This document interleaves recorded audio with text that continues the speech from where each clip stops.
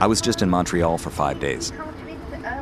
I've been a couple of times before to play at the Jazz Festival as a musician, but this time I went to cover the festival for WBGO Radio and for my podcast. The Montreal Jazz Festival started in 1980 and it grew into one of the largest jazz gatherings in the world. In fact, they boast that they're ranked as the world's largest by Guinness World Records. It takes place over the course of 10 days across 20 stages, many of them outdoors and open to the public hundreds of concerts, thousands of fried potatoes, too, because Montreal is, of course, the home of poutine, that dish you don't want to tell your doctor about. After a two year slowdown because of COVID, the Montreal Jazz Festival came back this year, and it was my assignment to find the story, or multiple stories, follow a thread, and tease it until it revealed a larger fabric of the event. I was free range, you know, when you're a musician, the job is actually pretty clear. You get to the gig, you play the gig, you pack up and go to the next gig. But what does a journalist do in this situation? I was given a credential badge to wear with the word journaliste written on it and total access across the festival to find the story. Welcome to the third story. I'm Leo Sidran. Pretty quickly, a narrative started to reveal itself. I mean, several narratives, really, and classics, all of them. The story of young versus old, the story about past versus the present, and ultimately the story of today's community of musicians, what's on their mind as they travel what I started to think of as the Silk Road of Rhythm, which is the Summer International Jazz Festival circuit, from Montreal to Marciac, from North Sea to Umbria, and beyond. I turned on my recorder and I hit the streets, but I didn't even have to leave the building before I found a thread to pull on. In the lobby of my hotel, I found one of the more revealing scenes of the event. Two large groups, each in town for their own gathering, were trying to check in at the same time. To my left was a gaggle of teenage girls who had come to town for the North American Irish folk dancing competition, which took place at a convention center nearby. To my right, the Jazz at Lincoln Center Orchestra, including Wynton Marsalis, was just off the bus from Ottawa. The girls were all giggles and enthusiastic, nervous with anticipation. The jazz musicians were like Navy SEALs, dressed in tracksuits and sneakers with suit bags over their shoulders. It was like the difference between a team and a tribe. I decided to talk to the Irish folk dancers and let Wynton and the band get some rest.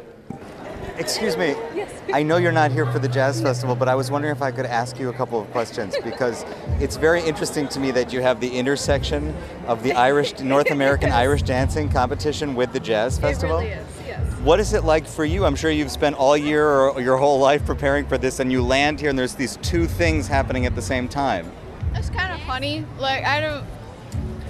We didn't know this was, the jazz festival was happening, so Do you have any interest in the music that's going on or the festivities? not really. I do. I think it's Um, great. I'm- we heard them performing last night as we walked back from practice Yes. last night. that was pretty cool. I'm mostly tired. Have you ever danced to um, jazz music? typically, if you dance to something, it like has a steady beat and stuff, and I don't know enough about jazz. To know if it has that. Yeah. Enjoy. Thanks for talking to me. Yeah. Congratulations. Cool. Next, I found some folks who had come to the festival on purpose for the healing it provided. What's your name? Kenya Thompson. Shawanda Steed. Where are you from? We're from Boston, Massachusetts. And did you come here for the festival? We came did. specifically for the festival. Have you been to the festival before? I came in 2019. That was my first time, and I wanted to come back. And this is my first time, and I'm excited to be here.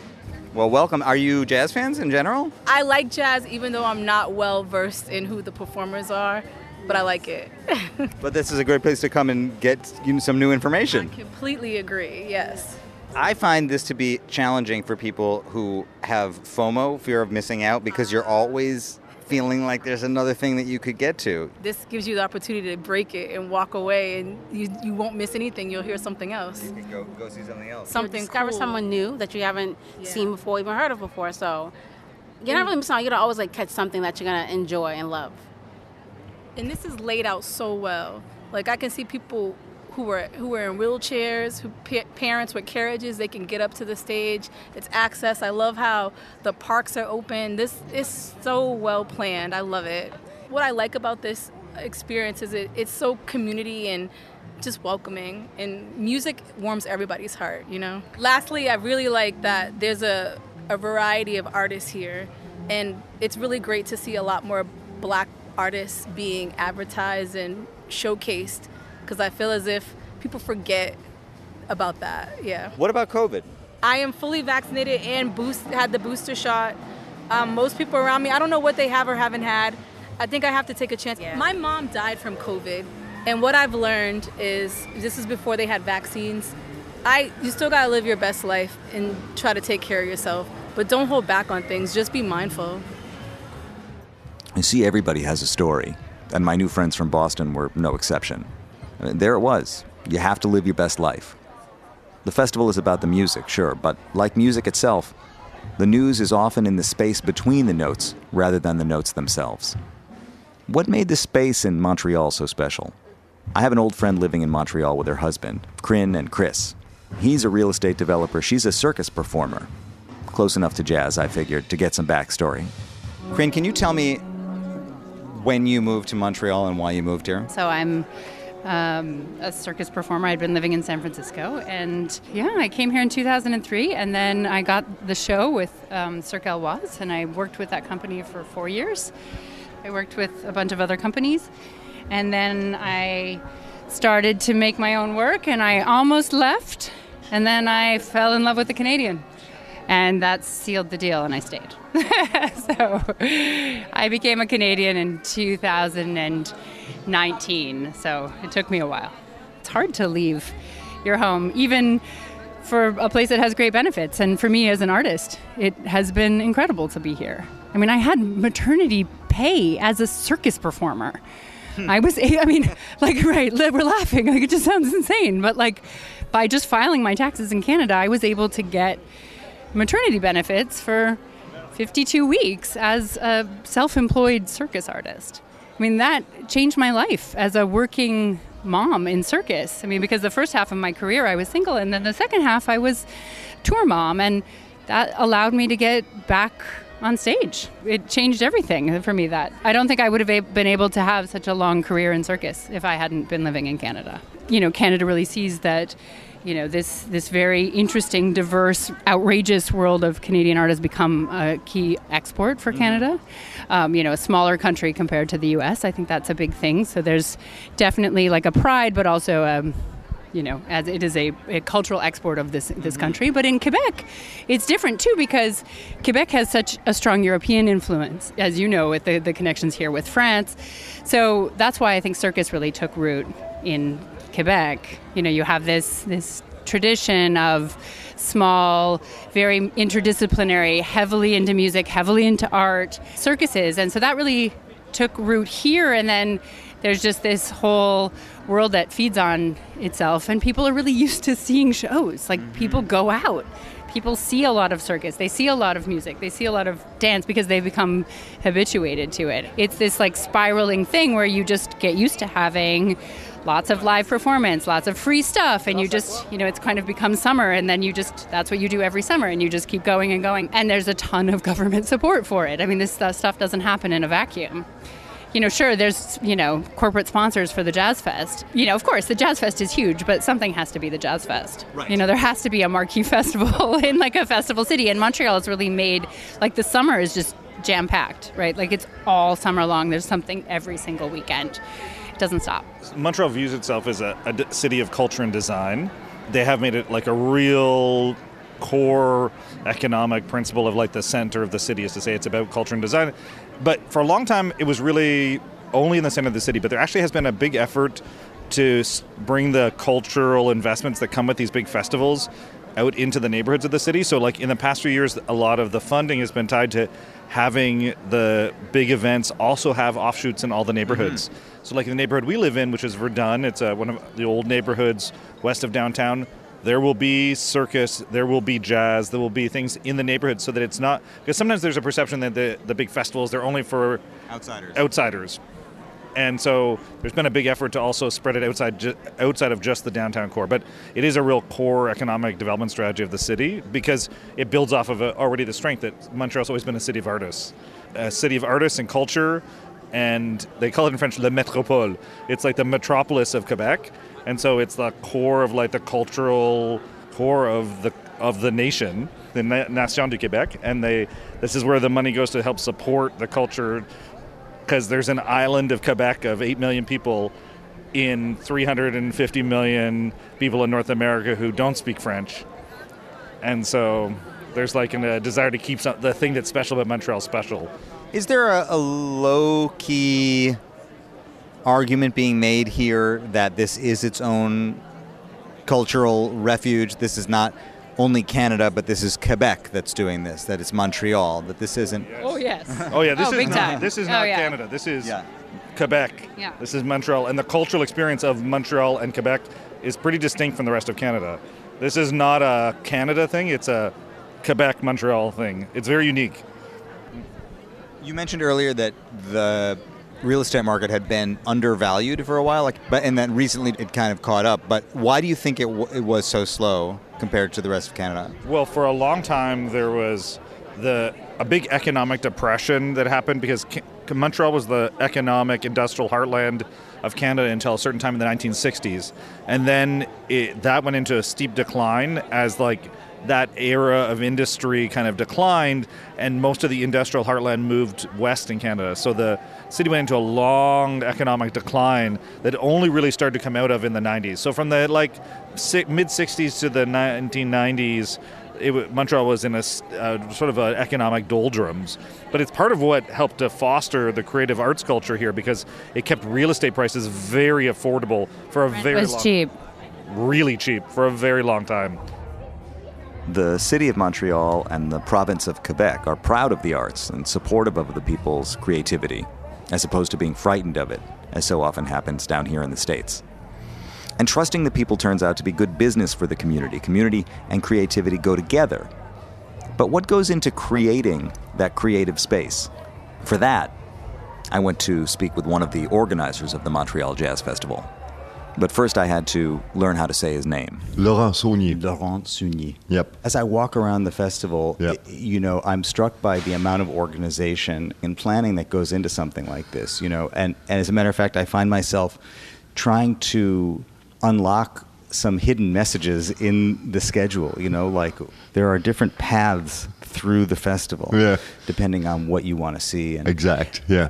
How is it approached? There's many different answers to your question. First, where when we're planning the programming of, of the festival, we're thinking both vertical in a day and also horizontal because we're working on different series on different venues. So there's those two axes uh, that are kind of important for us. We are also planning the outdoor concerts, not exactly like the indoor concerts. We're trying to have less competition as possible in the indoor side of it. On the outdoor side, there are so many people that there could be competition and it's not that important. The idea is we're working first on jazz with a big J concerts. For us, it's the most important thing. And we're trying, if you want to see, I don't know, um, Al Di Meola, we're trying to put him on the same time than Marcus Miller, for example, because in our mind, could be the same audience that could go to both concerts. We know that jazz lovers are not only into jazz, but it's difficult. We, we are uh, we are programming 350 concerts or something like that in 10 days. So there is always competition between concerts, but uh, I think that's the, the that's the fun part of a festival. This famous FOMO. Yes, the FOMO, exactly. well, that's why I feel like the way a festival goer processes the festival says as much about them as it does about the music. Absolutely, absolutely. But uh, you know, in the meantime, the, the, the FOMO for, for us is something very important. Yeah. Because if you still have that after 10 days of festival, you'll come back next year. Interesting. So you try to foment the FOMO. if it's possible, yes, maybe. Can you talk about the relationship between what is offered to you and what you seek out? Because I can tell that there's a part of what is programmed here that is intentional for the Montreal Jazz Yes. Festival. First of all, you have a lot of local Yes. artists. Yeah. Yeah. Uh, and then there's also a portion of it that is part of this great sort of jazz migration that moves, I can tell, across Canada and now is leaving from Canada Yeah. to go to Europe now exactly. for the festivals. yeah, yeah. How, how are you balancing those two? We're trying each and every year to have some really unique concerts. Uh, the Invitation uh, series, for example, we did three concerts with uh, Makaya McCraven. We will do three with uh, Terri Lyne Carrington. Those are unique to, to Montreal. For a festival, I think it's important to have some new things, some exclusivity, uh, things that you cannot see anywhere else in another festival. The local scene is very important to us also, and we're trying uh, with the with musicians, with local musicians, to do something special. The idea is not only about celebrating things from the past, but also thinking about the future. Are you booking for next year right now? Yes, absolutely, absolutely, yeah. Laurent mentioned the series of concerts by Makaya McCraven. If I was looking for a story to reveal itself to me here, then Makaya McCraven was here to tell it.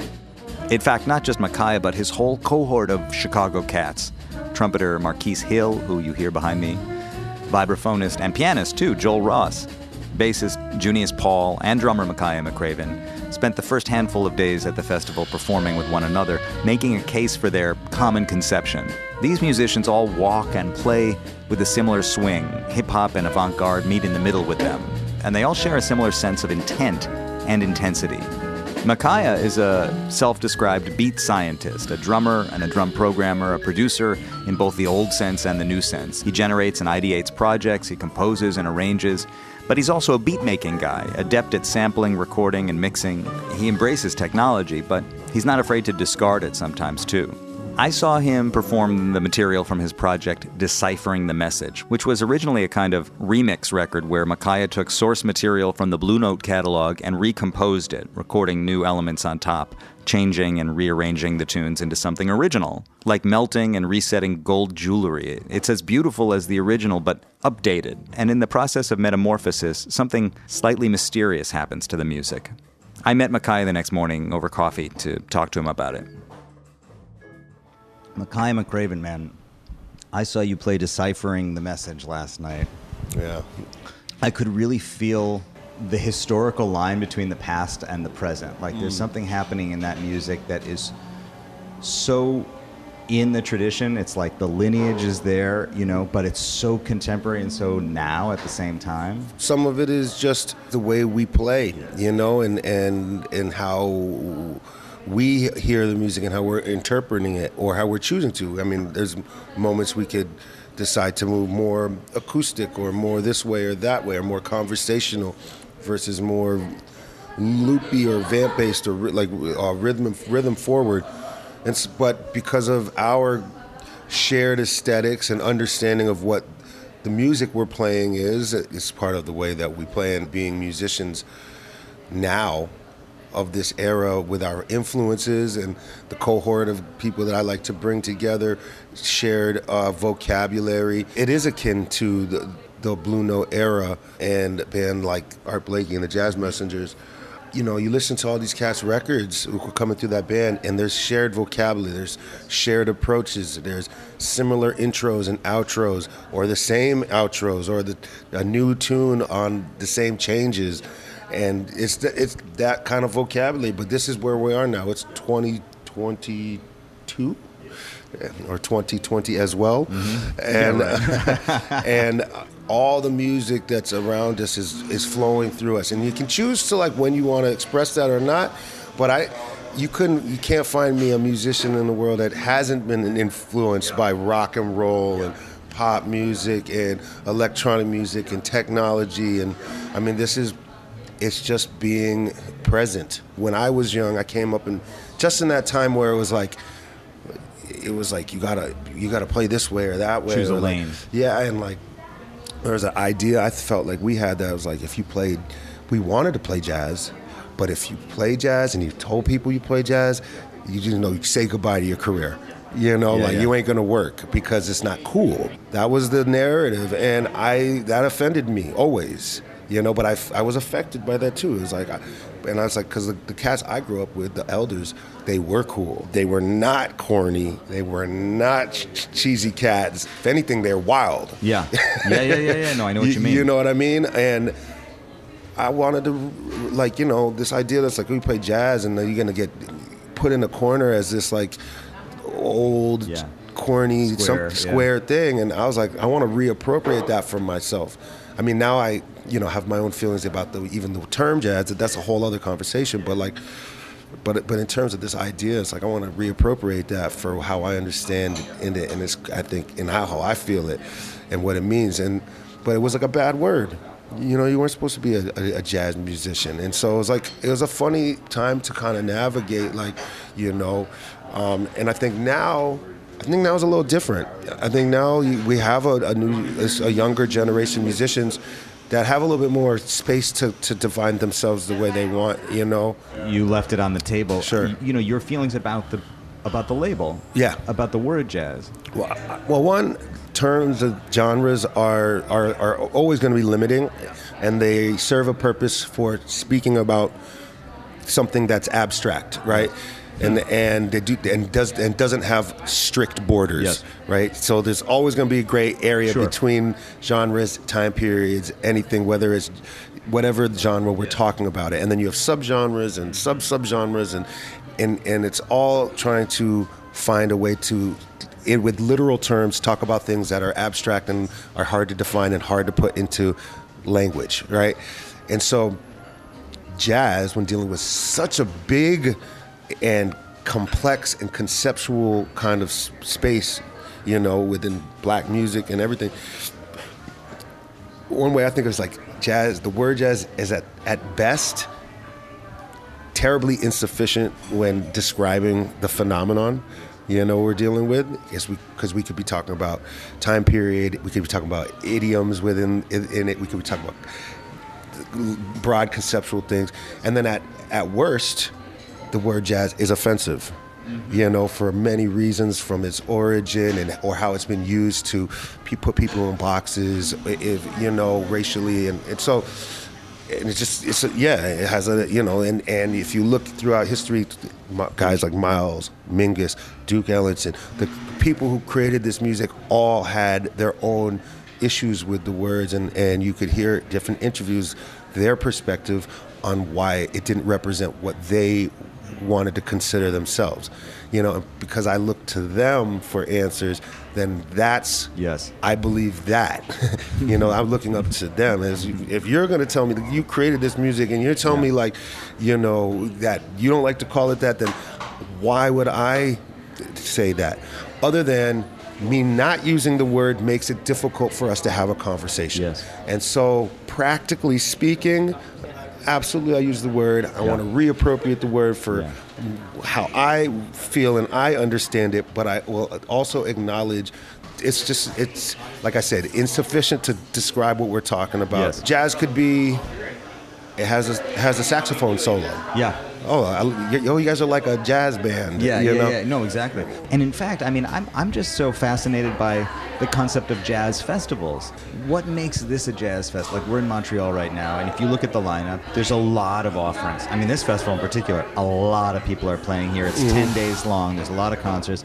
But it, it, you know, on the same stage that Corinne Bailey Rae played last night, Kamasi Washington is going to play tonight. Yes, yeah, yeah. And that's fitting in the same, you Yeah, know. But a lot of acts are gonna be like, uh, like not even like I saw one act I was walking by. I'm not sure who it was, but it was like it's like her and she's got like a DJ that's got like a drum pad Oh, too. Noga Erez. I'm like, wow, there's not even like an acoustic instrument on stage.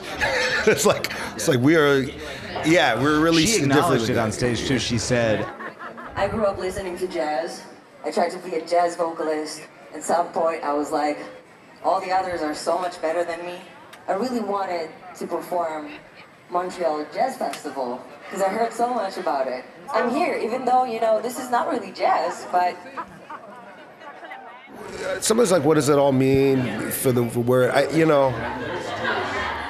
in a lot of places these days, jazz festival means music festival. yes. You know, I think it means musician festival in a way, you know? Well, that's what I think when I think of jazz too. I I do think of musician music, you know, uh, you know, musician music in a way, like you know, Duke. You're playing this. Duke Ellington wrote the music of Duke Ellington. Yeah. Yes. You yes, know, this yes. is the music of Duke Ellington. Yes, the It's- music of Duke Ellington is what he played. That's right. You know, and so calling my music this thing puts me in this in this box that like is you don't necessarily want to be in, and and then you got to over explain yourself to like try to you know make sense make sense of it. You know. Makaya McCraven, thank you for taking time. Thank you, Leo. Only a few years older than the Irish folk dancers, singer Samara Joy made her festival debut in Montreal this year. Samara Joy. I loved you so since that first day. Samara won the Sarah Vaughan International Jazz Vocal Competition when she was still a teenager and recorded her debut album during COVID while she also was finishing college. The record features guitar virtuoso Pasquale Grasso, who's also on tour with her now, as well as her mentor, drummer Kenny Washington. how, how do you feel right now? I feel like this is like a, a really hot moment for really you. big. Thank you. Thank you so much for coming. Oh my gosh, thank you. And it's just I don't know. I, this is the first like big festival that I've ever really performed at. Thank you. Um, and uh, we, we're on tour for two weeks, so it's like Yeah. we're playing all of these club dates, and then all of a sudden it's like you know. A big festival like this. I haven't even really been to festivals like this before, so um, it's cool. You know, it's cool to be a part of in this way and have it be received pretty well, since it's kind of like a small, intimate set. I guess that Yes. I that I and I, I kind of like those spaces better, but So how did it feel for you translating into such a big space? I don't know. I just, it's like I don't know. I, I guess I'm still learning. I want I wanted to I want to do it better next time, but you know, I think I think it went over pretty well. For I think you convinced them. yeah. You are 22 Two. years old right now. 22. You just graduated from college last, Last year. and I it doesn't even honestly. We graduated and then it was it was virtual. Yeah. I sang the, the the anthem virtually. Yeah. Um, and I, we got our diploma maybe like four months later. So it didn't really, it was like graduation and then straight to work because Yeah. we had already recorded the album and it had already been, well, it hadn't been released by that point, but we were getting ready, gearing up for like tour dates and stuff like that. While some of the artists I met in Montreal are just getting started, like Samara Joy, others reached legendary status long ago and are still going. Maybe none more so than Dee Dee Bridgewater. Dee Dee is a multiple Grammy Award winning singer songwriter. She's a Tony Award winning stage actress, a broadcaster, an artist, an entertainer, an advocate. Ultimately, I think she transcends category or even description. She's a kind of an eminence. Dee Dee was in Montreal to perform a one off duo show with pianist Bill Charlap. She was taking a break from a run of European tour dates with her regular working band. In fact, Europe has been a big part of her career. She lived in France for years, and she's a bona fide celebrity there. She's a star. Dee Dee welcomed me into her hotel suite to talk and revealed herself to be both a proud supporter of the new generation of singers and also a highly sensitive artist in a moment of real personal and professional transition. She began by showing me a letter that had been given to her the day before on her flight from Switzerland to Canada. Can I read this on the recording, Dee Dee Bridgewater? Yeah. This is a card that was given to you on Swiss Air by the flight attendants. Thank you so much to be our guest today, Mrs. Dee Dee. We wish you a very nice concert in Montreal and all the best for you. Take care. And they all signed it. They all signed it. What do you make of that? I mean, you're like a national treasure to them. It validates my existence. it validates all the years that you know I've I've put into to my craft, and um, it's interesting because mine is a very split life. I have my European life that the Americans don't know about. I have you know, and then my American life. Well, the French know about everything, so French people are always at my shows, but that most Americans have no clue about my European existence. You are maybe the greatest definition of a citizen of the world. You know, you have Yeah. made the world your stage, quite literally. Yeah. You know, Leo, I I had an opportunity to to go to France. I was just met with open arms. I was able to do a career in France without ever having to audition to prove myself about anything. I just they would just offer me stuff, you know. Had TV shows, Yes. radio shows. Obviously, they love you, and it's about you. Yeah. But you also belong to a tradition of black artists who found a different level of reception, a different kind of respect, a, Yeah. a different set of opportunities Yeah. in Europe than Yeah. what they were finding in the United States. Yes. I just attribute it to the love and the respect for jazz and its beginnings, where it really came from. I think that that is it. But there's always been a huge appreciation in Europe, and it's why so many African American musicians, you know, found refuge there. I mean, still today, there are, you know, young musicians who, who are moving there. And when I run into them, they go, Oh, I see. I see. I see. Did you see something else about yourself? Did you see yourself differently reflected in Europe than you had seen of yourself and your work in the States before you went I there? I just what happened to me when I moved to France was that I was allowed to do whatever I had ever dreamed of doing. I mean, even my roles as an actress in television movies and um, and television series and just being on television shows. You know, there were a lot of, and still are, a lot of shows about music. But as I don't know, I was the jazz artist. Well, I had a very big hit when I first got there with Ray Charles and this famous duet called Precious Thing. And because that became such a huge hit, I was catapulted to the level of all of the major prime time television shows that usually were not reserved for jazz artists. So I became a kind of anomaly. But also because I was an actress, I was asked to do skits and all kinds of stuff. And, and this was not only in France, it happened in Italy and Switzerland, um, you know, even um, as far as Israel. It, it was very surprising, but I don't know. They never questioned yeah. my abilities. I saw Samara Joy sing the other day, I was on. I was one of the judges. Yes, at the Sarah Vaughan competition where she won. And I was thinking about knowing that you were one of the judges and thinking the context around being a young singer today, being a 19 year old singer as she was when she entered, is so different from the context that you came through when you were 19, you know? Yeah. And I just wonder what you see when you see a young singer and think, well, what does this mean today versus what it meant for you back then? Well, I don't compare. I don't think Yeah. about what it meant. I just think about what it is for the young singer today. Jazz is a beautiful music in that people are always welcoming for the new kid on the block. And each artist is in, an individual and so will not step on the toes of another artist. So um, I'm really happy for Samara and her career that she's been so wholeheartedly embraced.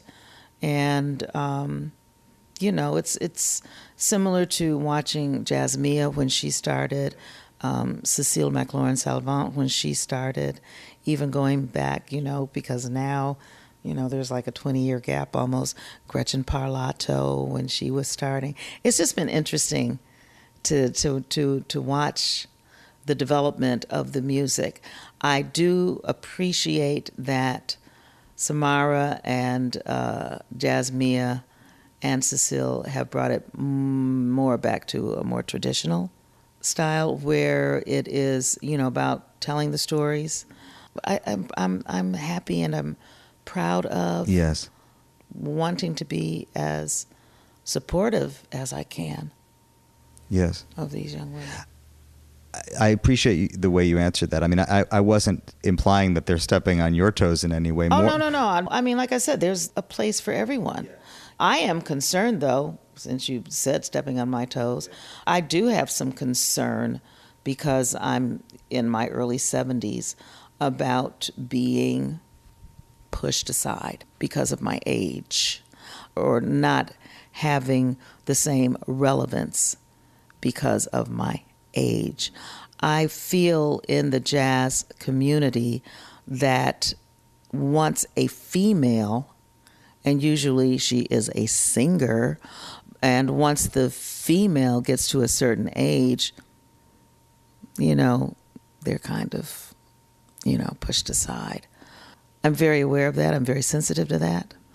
I have tried to make my career be more about the music, be more about, well, it's also for me. It, you know, they're all everyone's so curious about my my image, my fashion sense, and all of that. I'm just who I am, you know, and I've always loved clothes and always loved putting stuff together. It's interesting and it's fun because for me, it's allowed me to go a lot of different places. Yeah. You know, when I go on stage and when I tour in Europe, well, my last tour that I did in in Europe, I was just putting on some jeans and some hip Yeah. shirts and jackets and some wild boots and hats and calling it a day. You know, so I like that there's this flexibility, but I, I'm kind of more with your generation and with the younger generations. When I see a jazz singer wearing a gown, I'm like, no, come on, no. Well, so that speaks again to this question of what does it mean to be a jazz singer coming up today? Because the material, like not only the the gown, like well, who's wearing gowns today? So the audience might say, well, how does this relate to me? And the material also, some of the original canon is quite old, you know, and so you've got young singers who are are delivering lyrics and messages and songs that are, you know, coming up on 100 years old some of these songs, you Mhm. know. Mhm. It's just an interesting moment to be It is an interesting moment, isn't it? It it really is. Looking at these, the, just the singers who I've cited, you know, they've been very specific about their song choices. So they have already a good sense of who they are and what they want to project in terms of, of what they're doing musically. I think that that is the thing. It's just about how do you see yourself? How do you want to brand yourself?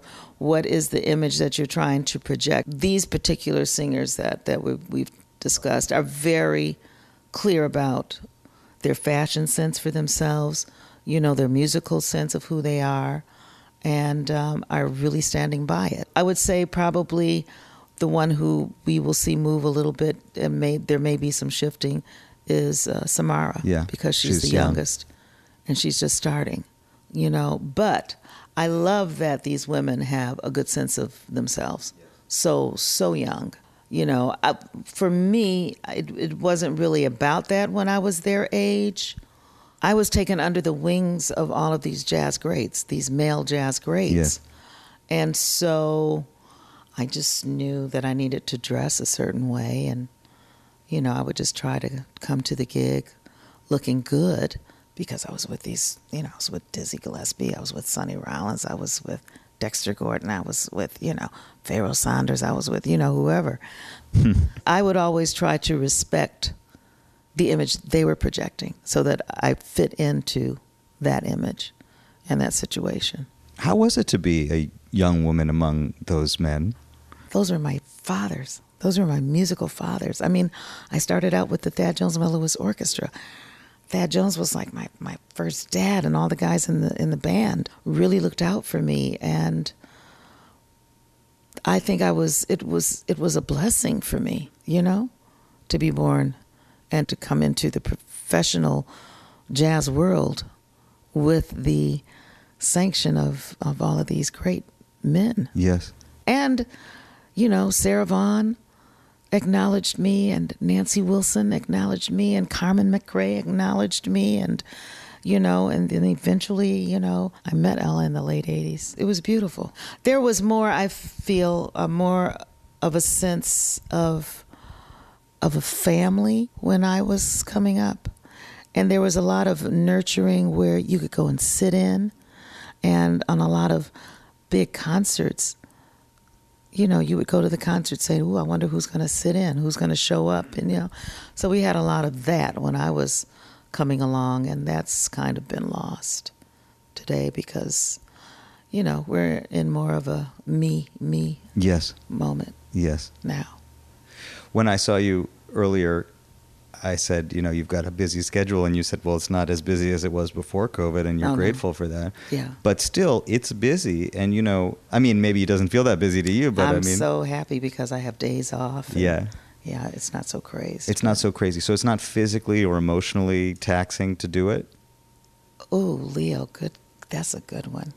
Yes, it's both physically and emotionally taxing. And normally I am with an emotional support service dog. And um, everybody knows my newest one. Her name is Daisy. But um, because the airfares were so expensive for this tour, uh, and because I'm going to two countries where I would have to get her special shots, and it it's quite a process to go to these countries. Um, and because her airfares were more expensive, I decided to, to leave her this time. And I'm also trying to work on myself mentally to be able to do the occasional tour without her because she really is my emotional support. And and I did a tour in Europe in April, and I, I didn't take her because I was going to London, and it was They going to have be a thing such a about process dogs in England, yeah. Uh, to get her in, I decided not to take her, and that was the first time I had never taken her with me, and I was a hot mess. Mm. So you know, I had that run to now know, okay, do not react, do not say that first thing, don't write that email, because um, she tempers me, she keeps me cool, you know. And my last dog was a was a male, and he was great. You know, and because of him, I, I'm off of antidepressants. I was on antidepressants for 15 years, and my dog, Io was his name, you know, balanced me so much that I was able to get off antidepressants. So they're very important, and it's a real thing, and I'm not afraid to talk about it because people need to understand that depression is a real thing. I am clinically depressed. It means I'm going to be depressed all the time. I know how to deal with my depression now. I can recognize when I'm going into a depression, and so I can kind of head it off, or I can embrace it for that moment and let it be and ride it out. But because I put off this air of being very outgoing, Mhm. you know, people have always been shocked when I say I, I suffer from depression. Well, thank you for being open about it with yeah. me. I but I mean, I think that you know people need to be unafraid, you know, and um, and it's okay, and it doesn't. Well, I mean, maybe people will think differently of me. I really don't care. I'm at that point in my life where I really don't care what you think about me. I know who I am and how I am, and I know how to apologize if I have an aggressive moment because I'm not with my dog. I think it's important to acknowledge, as you say, that clinical depression is real and it, it's not necessarily related to your artistic world. But I also do sometimes wonder if having experienced some emotions so deeply, do you think maybe that has allowed you to to process those emotions through the music? I mean, do you think when you sing certain songs that you maybe have a, a more direct channel to it than, than Oh, other yeah. people would? Oh, absolutely. I think this is kind of uh, bore fruit for me working with Bill Mhm. Charlap because it's just the two of us. Yeah. it's like, mm, I listen to these stories that I'm telling Mhm. much more intently. And so they have a much deeper meaning to me now. And since it's just the two of us, um, I, there I find a sense of theatricality to them, you know, so that as I'm interpreting them, I can give them another kind of life because it is just the two of us. Yes. I see that Bill is not at all bothered Mhm. by me, by my incorporating the theatrics. And he said to me once, you know, Dee Dee, my mother was very theatrical. Yes. So this doesn't bother me. And my father was involved in Broadway shows. Yeah. So Dee Dee, be yourself. Yes. Be all of you. And that's beautiful. Well, Dee Dee Bridgewater, I want to say thank you and I love you and you are an inspiration. I don't know if this was what you anticipated. But thank you. It's hard to describe the intensity of sharing an intimate moment like that with such an esteemed artist and a soulful person, and then walking back out onto the street to rejoin the party on the Place des Festivals. Irish folk dancers, poutine vendors, and the rest of it. But incredibly, the first person I ran into on the street was pianist Bill Charlap, who Dee had just been talking about. So I asked him to tell me about working with her and about the art of accompaniment. Bill Charlap, I just talked to Dee Bridgewater, and she was telling me about the theatricality and freedom when the two of you get together, that it can kind of stretch in all these different directions and it takes on a different life. And she told me that one of the reasons it works with you is because you have such a deep familiarity with the theater and theatricality. Well, I understand um, what's going on Mhm. there, uh, the song, and really, uh, Dee Dee is a genius performer, an utterly brilliant musician, uh, a completely unique and effervescent and dynamic storyteller, Yeah. and one of the great risk takers in the music. So, with all of that, and her time is perfect, and her imagination is boundless. So, how's that? With all of that, it makes it so easy for me. Um, there's trust. Yes. And that trust just seems to build exponentially every time we play together. So, really, that's what it's about. And I think uh, that's why those two chemicals and Yeah. all the different chemicals behind both of them Yeah. work and make a, a sonic boom when they connect. You are also one of the world's greatest accompanists, not only for Dee, but for other singers as well. How do you lock in with the person that you're dealing with? What are you looking for and listening to? You know, it's really not different than playing with. Uh, it's different because there are words, of course, Yeah. and there are automatic stories and layers behind the story. Yeah. So it's not always just one of those things can be uh, glib, or it Yeah. could be it was the thing and I missed it. Mhm. So it could be that with the words, but. If I'm playing with Phil Woods, or Benny Carter, or Clark Terry, or Gerry Mulligan, or Wynton Marsalis, or Dee Dee Bridgewater, or Tony Bennett, or my mother Sandy Stewart, or with Renee Rosnes, or with Kenny and Peter, it's all about listening to the psyche of the spirit of that person and what do you want to do to contribute to that moment. Mm-hmm. It's not an original thing that I'm saying. I mean, any great musician in our music is thinking that way. Yes. You know, it's not about yourself, it's about how can yourself pair with somebody else to make something where the whole is greater than its parts. Another of the great masters when it comes to contributing to the moment and making a whole that is greater than the sum of its parts is bassist Scott Colley. I first ran into him at the festival my first day in Montreal when he was playing with Dave King and Julian Lage. A few days later, I found him again, this time playing with drummer Allison Miller's band. And I wondered how he pivots from project to project so quickly and so seamlessly. I saw you the other day with Julian Lage and Dave King. I've been here the whole time. You left and you've come back. Where'd you go? Well, we did uh, six cities across uh, Canada with with Dave and, and uh, Julian. Su- super fun, amazing time, and uh, ended up here in Montreal, and then I went back to Ottawa uh, for the first concert with uh, Allison, and now this concert, and then tomorrow I go to Copenhagen with another project.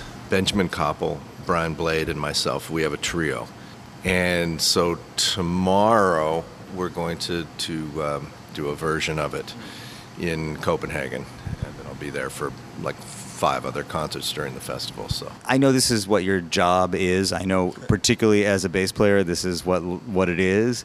But I mean, is there any adjustment that needs to be made when you jump from project to project? The aesthetics, the values, the kind of wh- whatever. Not just dealing with the music, but just kind of like figuring out what the sound is when you move from project to project. it's it's really like a abandoning of preconceptions for sure. I mean, the difference between you mentioned Julian's trio with Dave and this quartet with Allison and what I'm doing tomorrow. And so, to me, those different. Uh, I've always been really interested in playing projects that are really diverse in that way, so that it and then there's different skills of mine, hopefully that I'm able to draw on over time. But the main thing is conceptually is like really abandoning to that feel. Like I'm really lucky to play with some amazing drummers, but they're all very very different, and they bring out certain things in my aesthetics and music as well. And then so it's just like trying to to that point where you have that trust and those relationships, but it's it's a different set of parameters that you use. You know whether how elastic something is, how groove oriented it is, and when and where to do these things. And and uh, it's like a lot of life. It's like you you uh, surrender to a certain things, but you try and gain more and more uh, knowledge and information and and um, the ability to be able to feel what's going on around you and not uh, get too stuck on what happened. What was good last night doesn't necessarily work tonight. Yes. That's a very important thing. It's like, are you really present or are you just sort of, you know, trying to replicate something that you did in the past? What's so interesting to me about that is that uh, on the one hand, you talk about how over time you cultivate the skill set to be able to do that. And on the other hand, since you can't be attached to what happened last night, the idea of improvement is a subtle one, right? I mean, I'm not talking about technical improvement, but the idea that you can become a better musician over time, and at the same time, you have to just be in every moment that you're in. in that respect, life and art are the same to me. When you stop trying to be better, whatever that means to you, mm-hmm. and it's not like a surfacey better kind of thing, then that's when I'm just going to stop. So that's that's the thing about making music is that you can always there's always a, an infinite amount of stuff. You, you think you know something about music, and then you experience something or hear something or play with someone that makes you realize that there's a there's just so much more. So, you know, I, I'm very lucky to have a lot of perspective in that in that regard because I've been out here a, while. This is a probably a totally loaded question, and I've asked a, a small handful of bass players this question. But you know, the the world is actually filled with bass players, but there's a small group of bass players who work a lot that people really want to work with. I mean, you're privileged to play with some of the greatest drummers, but they choose to play with you. You know, why do you think some bass players stand out? I think people want to play with musicians that make them feel good about what they're doing. And so, uh, while it is incredibly important to be really rooted in what you're doing and have the tradition and the understanding of as much a, a tradition of jazz music and other music as we possibly can. Again, you know, constantly growing, no matter what groove it is, in whatever genre you're playing it in, make it feel good. Empathy is a big part of this. So I don't want to go too far off into the stratosphere with with this, but empathy, but also being very rooted in what you're doing. Big part of it, actually all of it, is always asking yourself in the very moment, what is the most powerful thing that I can do? Is it to lay down this groove or play this really simple walking line? Or is it to get all up in some melodic thing and get up with the soloist and play? So it, the, the question is answered differently. If you're truly open to what's happening in the moment, you know when to play those roles. And I also like music that's very rooted and then alternately very elastic. Empathy, group intention, freedom from expectation, non attachment, presence in the moment. Scott Colley demonstrated what deep thinkers these musicians are and how seriously they take their work. Yes, the music might feel good, but these people are not kidding around. The show that I saw with Scott Colley and Allison Miller, who were joined by saxophonist Dayna Stephens and pianist Myra Melford, was performed for a standing audience in a tent. And the audience was into it in a frankly unusual way hooting, hollering. Like, for example, when Allison introduced her song Speak Eddie, dedicated to her teacher, the late Eddie Marshall, and his signature five note lick, the crowd cheered enthusiastically, and when the band moved in and out of grooving and playing free, the people applauded as if it was like a shredding guitar solo at a classic rock show. I was curious if that kind of response is typical for Allison. I just have to remark about the energy of that audience. I mean, that was like a rock and roll audience. I know. It felt like ex- I was. It was exuberant. It was joyful, and I was psyched. They were so into it. I, I, I said the first thing I said to the band at, when we got off stage was, "I want to play for standing audiences all the time." That's, that is what I thought too. I thought outdoors in a tent, people standing, it signals to the audience that they're- can rock out. I know exactly, and it, and it signals to them that they can actually move to even music that is without pulse so much. You know. Yes. So that is the other major takeaway for me of the show is that this band is constantly in and out of pulse. It's in and out of groove, and somehow the residual body thing is happening like collectively, even when we leave Pulse, that people are, were with you. Yeah, I know. It felt felt really great. How do you think about going in and out of Pulse and in and out of time and in and out of, you know, from free to less free? Yeah, I mean, I think about water a lot actually, and just on the drums, but then Yeah. conceptually, and and when I compose, I'm always thinking about um, how, you know, like or nature. Um, biomimicry. I don't know if you know this term, but it's about like mimicking nature. Mm-hmm. Basically, it's a scientific term, but I think about mimicking nature in music all the time and how, you know, nature seems like chaos and mm-hmm. anarchy, but sometimes it, somehow it works perfectly. In fact, it works more perfect than when we try to control it, mm-hmm. right? So I'm, that's how I approach it. And I think when you're playing with musicians you trust, like this group, we can we can go for it. We can go in and out of time, and we've got each other's back, right? So, you know, I might go out of time, and Scott might stay in time, or we both might go out of time, but we trust each other so that we know we'll get back to a groove eventually. And all of my favorite, you know, growing up, all my favorite drummers that I listened to and bands that I listened to, that's what they did as well. So it just seems normal to me. I mean, I always mention Miles' second quintet because the, the more they played together, the more they were adventurous and experimented with going in and out of time. But you always felt a pulse there, you know, with Ron on bass and Tony would go in and out of time and it was just like elastic stretching, you know. And for me that's that's organic and natural. Yeah. You're a very clear and articulate player. Your your notes are all seem quite defined to me. So I, I hear some real intention in all of what you're playing, even when it goes out. If that makes any sense. Yeah, uh, yeah, definitely. I mean, I, I spend a lot of time developing clarity, so I'm happy you said that. For me, it's important, and I spend a lot of time on rudimental technique, which is, and all my teachers uh, pounded that in too. so that's, I'm glad to hear you say that.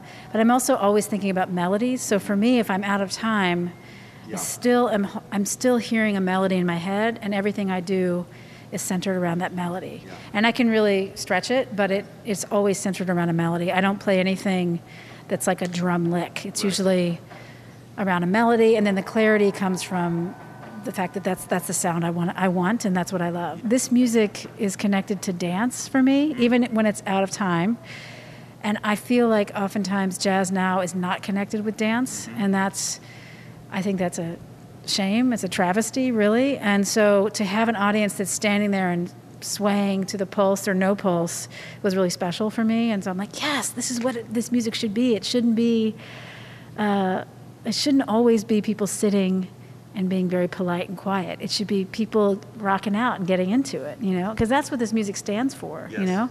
It doesn't stand for like calmness, it stands for like shaking things up. Walking through the festival, I encountered more than one world class musician checking out another one's show. For example, as they made their way from the hotel to their gig, guitarist Corey Wong and his band stopped to check out saxophonist Immanuel Wilkins' set, and I tagged along. Eventually, we found ourselves backstage at Corey's gig. His career is a kind of case study in the new model. He's self sufficient, independent, a kind of social media wizard who makes funky, feel good jazz adjacent records. It's punchy Minneapolis funk with very few solos, but a lot of energy. And he's as much a content creator as he is a guitarist, which is saying a lot about both his content and his guitar playing. His early association with viral funk phenomenons, Vulfpeck and the Fearless Flyers put millions of eyes on him, and he seemed to know exactly what he wanted to do with the attention and how to build on it. Corey has also become an ambassador for his hometown, Minneapolis, and he's been traveling with a horn section that includes members of the Hornheads, known for their long-standing association with Prince, and Sonny T on bass, who was also a member of Prince's New Power Generation. As the horn players warmed up, the rest of us chatted casually until it was time for the pre-show huddle up. All right, everybody. Yeah. Jazz festival tonight, but it's our show. Ticketed event, Corey Wong crowd tonight. We can do whatever we want, but it's our first time here. Feels really great to have this size room and full. I don't know when the next time is we'll be back. Let's give them a show of their lifetime. Let's destroy it. Hey, I don't know about you guys. I'm out for blood tonight. All right, blood now. tonight. What's for blood? Get in, Ariel. One, two, three, blood! Corey and I got together in his dressing room before the show to talk. Corey Wong, I just walked down the street with you here in Montreal, and you are getting recognized. You're like a, you're a celebrity now in this world. in a niche way, I get recognized. Niche crowds. It's kind of a funny. Th- I mean, I think that thing has existed for a lot of years, but in particular, in the last several years, with the internet being what it is, there's a lot more niche communities. People really find themselves in a niche community and find some sense of identity in that. And then there are also people who are of influence in that community. And I would say that, you know, I've kind of gotten to the point where I'm somewhat of that in the guitar realm, in the music nerd realm, and like in, in other things as well. So it's, I, I'm I'm still getting used to it. You know, you speak about it as if it's something that is happening to you, but you're also a total instigator, right? I mean, you Sure. you, you are a constant generator Yeah. of content and ideas, like relentless. It actually, uh, almost overwhelmingly so. in a lot of ways I put out more than what would be expected. Like I don't expect everybody who follows me to look at or listen to everything that I put out, and that's okay. It's not really a business thing to put out so much. I think it's just more of in a lot of ways I have this artistic energy, I have this creative energy that's happening and as an artist, I am kind of developing in real time. And I think it's fun to show my audience what I'm exploring and listening to and how I'm growing in real time in a way that's really honest. Did you always have that energy, or is it something that you're experiencing now as it rolls? You're seeing that you have more and more energy to do this right now. I've always thought that creativity is a vine that blossoms rather than a gas tank that empties. And I think once I really found my voice on the instrument and in music and a sound and a vision, that's really where it started to blossom. I certainly didn't know who I was or what I really wanted until I hit my 30s. And which is, you know, for a lot of people, it's like, oh, all right, time to hang up the spikes, you know. But in this case, it's like I really found myself then. And then I was able to lean on years of experience to help with the logistics side of getting things done and the understanding of how to I've been a part of plenty of projects that were done responsibly and irresponsibly. So I had the experience of seeing those sometimes firsthand or secondhand or from the sideline. So by the time I was really diving into my own thing, I had some reference points that I could use or not use. I think you know a big part of what's happening with you is clearly happening with the guitar, with your you know your whole approach. People are, I mean, you've become pretty quickly a reference, which is wild. My right hand is what a lot of people will reference, or my right hand thing. And in college, that was a thing that was always holding me back. It's like, oh, Cory, your right hand technique is terrible, you know. And it was for a lot of single. It's not proper technique, but it's its own thing. So I just learned to lean into what it is that made me actually sound unique with it.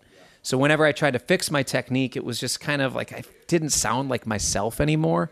So I thought, okay, I'm just going to lean into the way that I feel like sounds like me. And the more I captured that, the more I've developed that and mined that into a piece of, you know, a refined whatever. It- you know, it's strange to, to hear people say to me, oh, do your Cory Wong thing on something. And then to hear it being referenced in other sessions or like, oh, yeah, I was doing this thing and I was kind of trying to get a Cory Wong style guitar thing. I'm like, oh, wow, that's really interesting. like, yeah, that's so cool. But I do think that the other piece of what's going on with you is definitely something that can be cultivated, but n- not everybody's going to have it, which is your persona and your personality, your showmanship, Yeah. you know, your love of performance and Yeah. extra musical stuff. You know, you you are kind of an actor and a present, Yeah. presenter now and a director in a way, you know, all this stuff that I guess I didn't see coming when you Sure. first showed up, you know? Yeah. Just like music, just like songwriting, a lot of people think that these are either innate, you're born with perfect pitch, or you're never going to be a great musician, you know, or whatever, you know, or like, oh, this person's just born to be great at the trumpet. And it's like, well, some people have some sort of advantages, and yes, some people are born with some sort of innate ability, but there's a lot of time and a lot of reps and chops that go into this. And I have been performing for a lot of years and I've watched a lot of performers and paid attention. I think that's one of the things that a lot of people that are first starting to get into performing don't always pay attention to. Of course, they're paying attention to their artistry and the music and they're thinking, "Oh, how am I going to talk on stage? Oh, what should I say? How should I say it?" And they'll think through that, but they won't they won't watch their own tapes of themselves doing it to look back and say, "Oh, that's where I'm doing this. That's where I'm doing this." Or they won't study other people who are really good at it. You know, and for me, I've studied a lot of great performers. I've watched a lot of great performers, just like I've studied great guitar players. And I've studied a lot of my own tapes and see my own things and try to like the rule still applies on stage. We have the uhs and ums rule, where if I ever say uh or um on stage, I owe everybody in the band ten dollars. You started to do the Wong Notes YouTube TV Yeah. series, which to me is a TV show. I Yeah. mean, it really is a That's how I think of it, a yeah. traditional variety show. Exactly. How did you know that you wanted to be that guy? Yeah, I've loved variety shows and late night TV talk shows. I've been fascinated by them since I was a kid. And of course, growing up in Minnesota, there was a lot of Prairie Home Companion and that sort of thing, which is a storytelling variety show, music involved sort of thing. So a lot of those influences kind of formed me to have a curiosity and interest in being a late night band leader or something, you know. I thought, well, what would it be like if I created a show that was like a variety show or an SNL meets the late show if the band took over? That's a really fun concept. I don't think I've ever seen or heard of anybody exploring that space.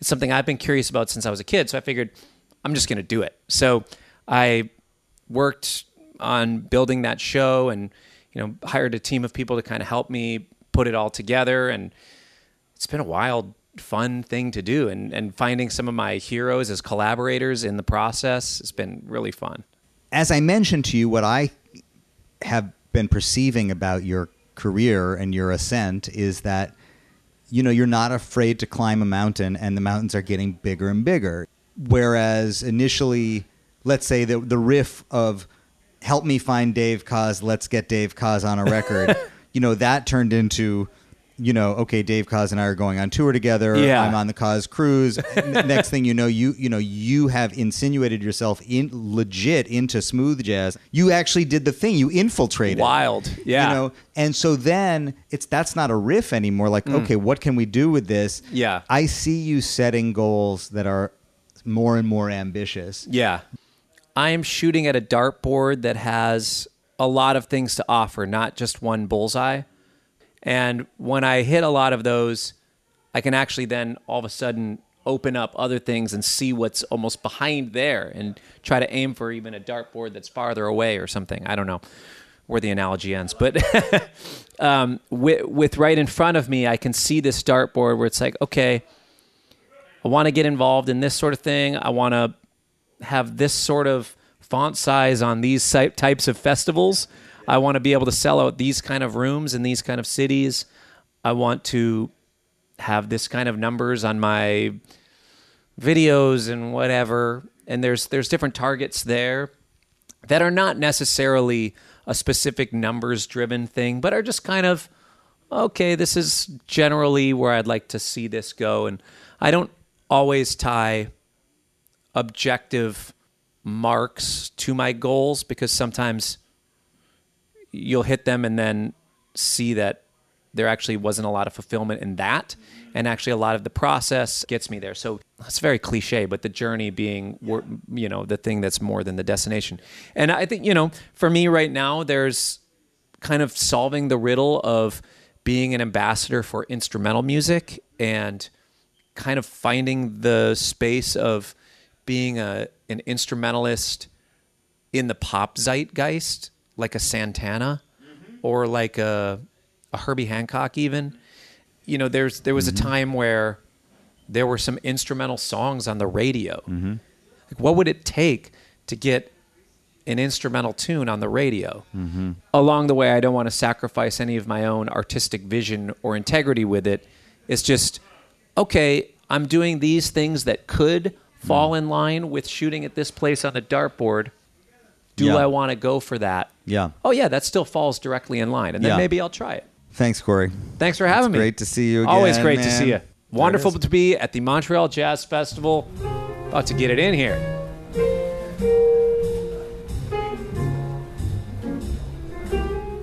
While Cory Wong is shooting at a dartboard and playing by the new rules of social media, YouTube, and content creation, pianist Aaron Goldberg has a more reticent relationship with the modern model. He played a late night set with Yes Trio, the group he co leads with the drummer Ali Jackson and bassist Omer Avital. They played to a densely packed room. Aaron has been a highly regarded sideman, collaborator, co leader, and solo artist for years, and I wanted to talk to him about how he thinks about a career in jazz today. And man, he did not disappoint. Aaron is serious about what he does. He's incredibly thoughtful, sees his decisions both online and on stage as political statements as well as artistic. We strolled through Montreal chatting and getting lost, both in conversation and in the city itself. Aaron as Goldberg. walk, like yeah. this. Why, walk and talk. Why, Why not? not? We're Why walking and talking. Aaron Goldberg, I'm so happy to be walking and talking with you in Montreal right now. I went to go hear you play last night with the Yes Trio, and I was amazed by the enthusiasm and intensity of the audience. Like you, they were really there for you. You, I mean, you guys were killing it, but the room was hot.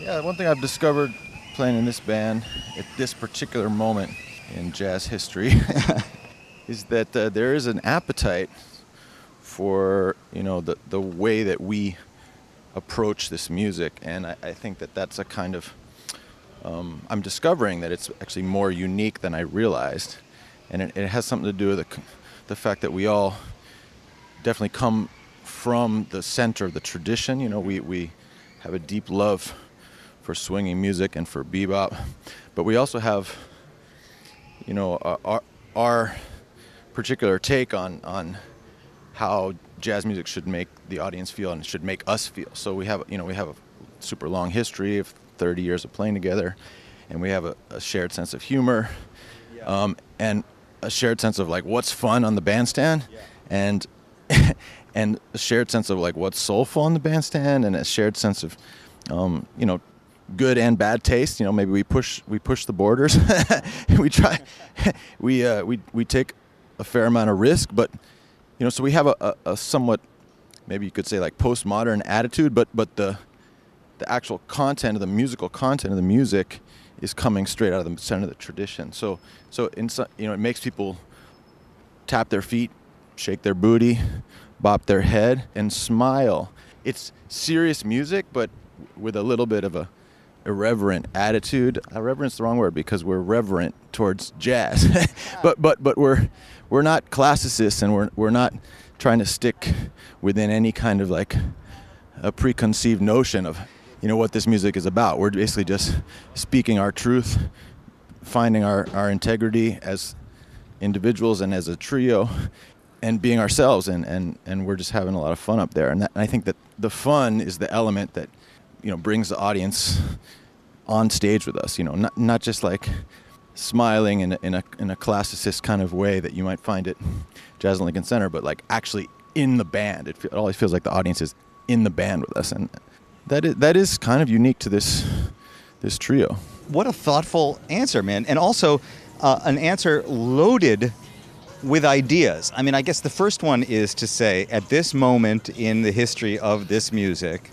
that there's a hunger and an appetite for that, to feel good, to just experience that essential universal feeling of enjoyment. Yeah, I mean, jazz started as dance music. I mean, sw- swing music, swing orchestras were there to inspire people to make love and to feel good. Something you would do at the end of a hard work week. You know, you'd go dancing. This music, although it's it's high art music, you know, the great icons of this music are some of the you know, greatest creative musicians that the world has ever seen, the planet has ever hosted. Uh, and we're all about that. We're all about playing a bunch of badass solos in the Mhm. moment and, and trying to be, you know creative improvisers um, together, right? So it's it's the high, it's the art, as Ali said, like I got a new concept. It's called listening. you know, it's the art of imp- improvising together, responding to what everyone else is, is doing in the moment while you're, you're you know you're speaking your own truth in your solo.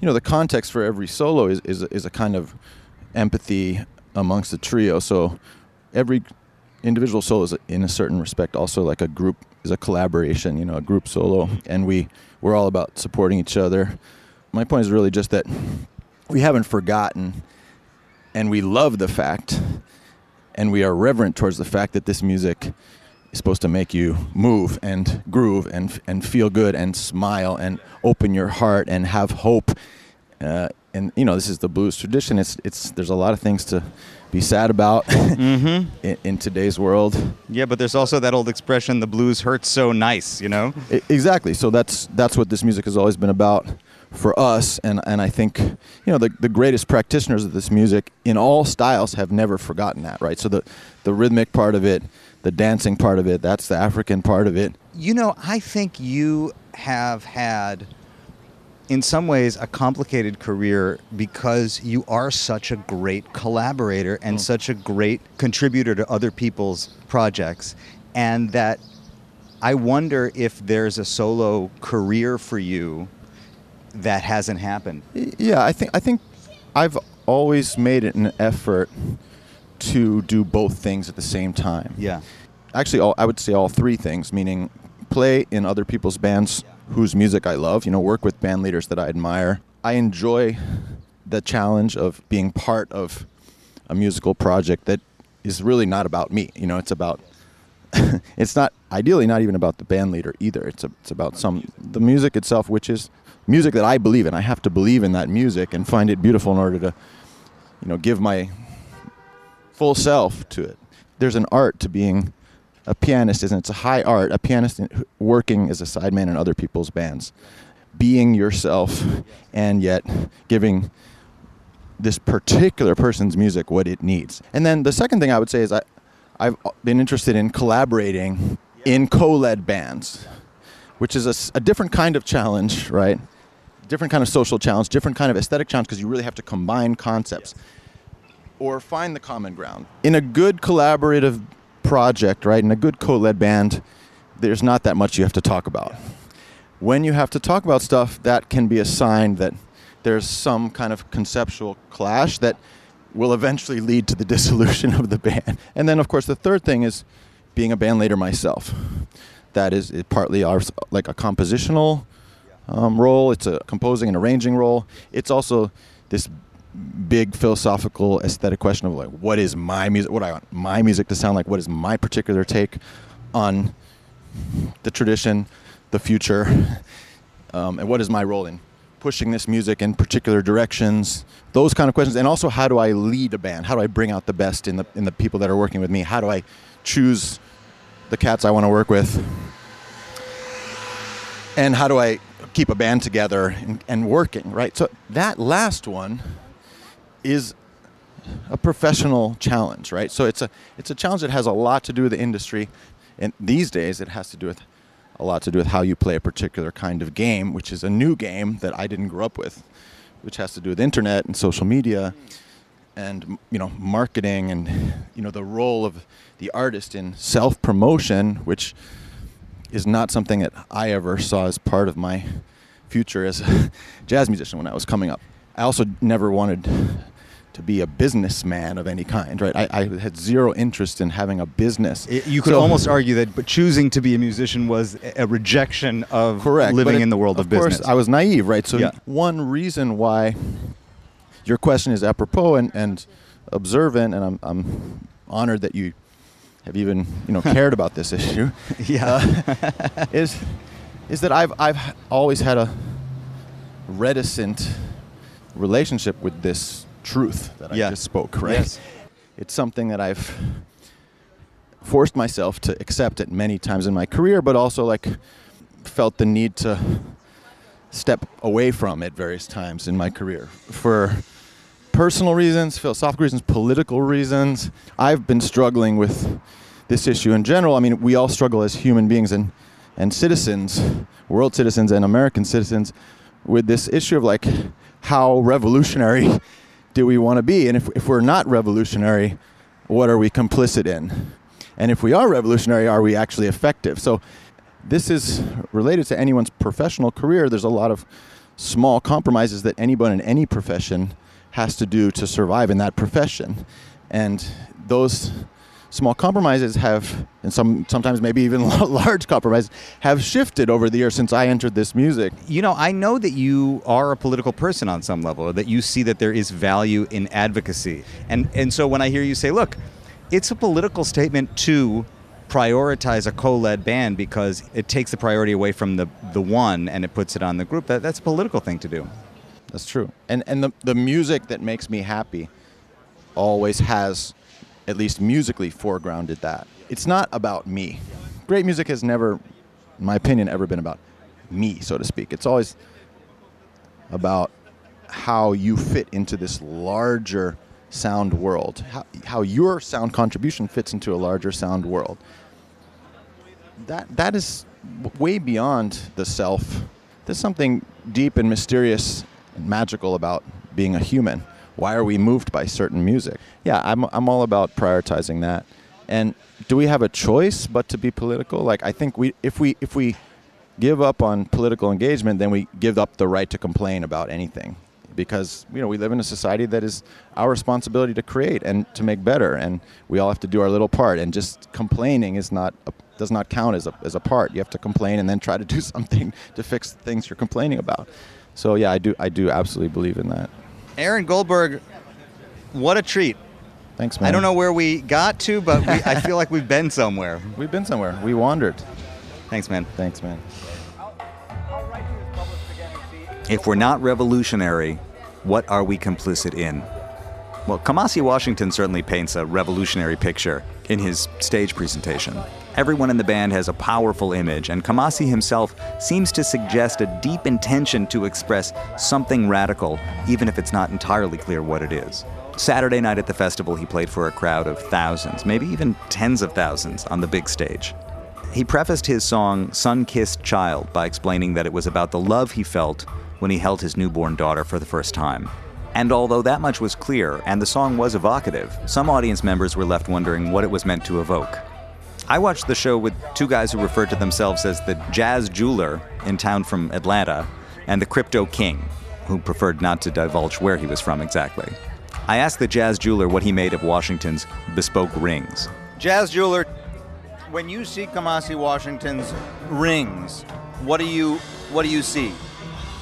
I see exceptional individuality. I see a story in each one of those pieces that I want to understand. I want to know. I want to know what each of those means. I mean, each of those it was selected for sure because of some story. Are they are they custom? Do you think they're unusual pieces, For right? sure, they're very unusual. Um, but I think each one of them really has meaning to Kamasi. Each one of them. I don't know what the story is, but I think that's like a whole. That's a whole show. You could do a whole third story about that. Yeah, but you know, we don't know what the story is really in the music either. I mean, in this case, he explained this is the song about his child, but the, the truth is, we're left to interpret what is it supposed to mean when we hear the melodies. So I, I think sometimes it's better not even to know the truth, just to imagine.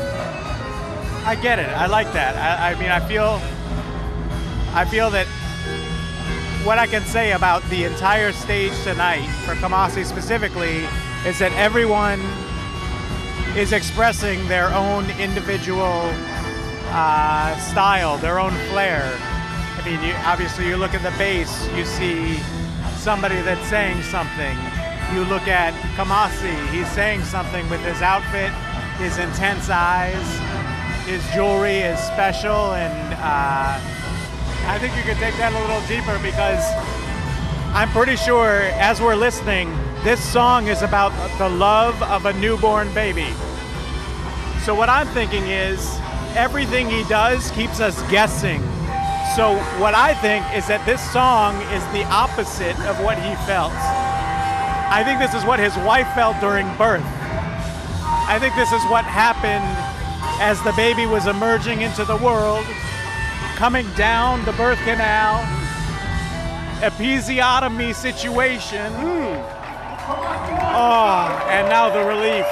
This is the baby. Now this is the baby. This is the love. This is the Now, this beauty. is the this is the baby.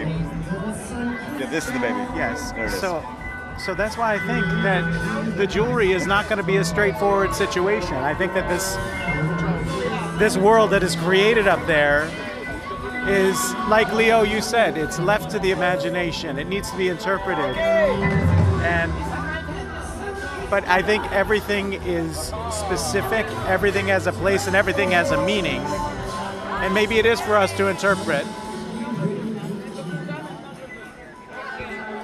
After five days of wandering in Montreal, five days of interpreting, my ears, I admit, were ringing a bit. My mind was racing, but my heart was full. My dad likes to say that jazz musicians are just like everyone else, only more so. And I think these conversations and these interactions support that thesis.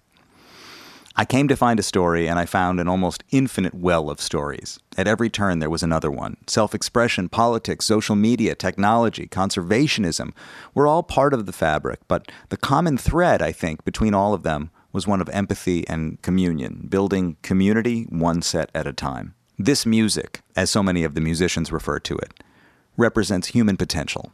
And humans are complicated beings, filled with all kinds of potential. But at our core, we're social beings. The singer Gregory Porter brought it home for me this way.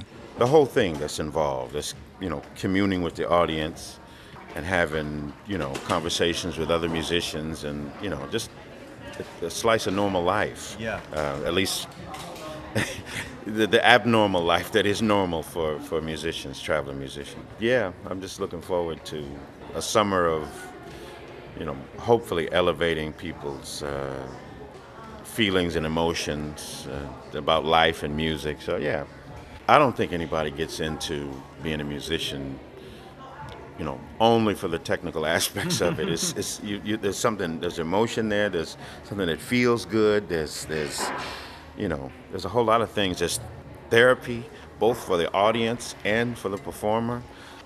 Without it, um, there was definitely some something missing. Definitely in my life, for sure. So to get back to it is is um I you know I kind of I feel whole again really.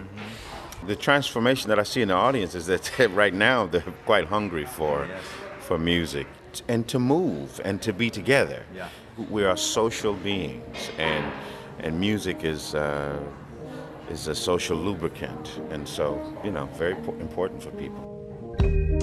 The third story is hosted, produced, and edited by me, Leo Sidran, and it's a collaboration with WBGO Studios. Visit wbgo.org/studios for more information about their award-winning content. Thanks to Nate Chinen, Steve Williams, Stephen Smith, Doug Doyle, and the rest of the WBGO team who supported me through this experience, and thanks to my father Ben as well. He knows why. And thanks to you for listening. I'll be back in your headspace with another deep dive before you know it. Until then, I'll talk to you soon. This has been a WBGO Studios production. To learn more about WBGO Studios award winning podcasts, special concerts, live streams, and more, visit wbgo.org/studios.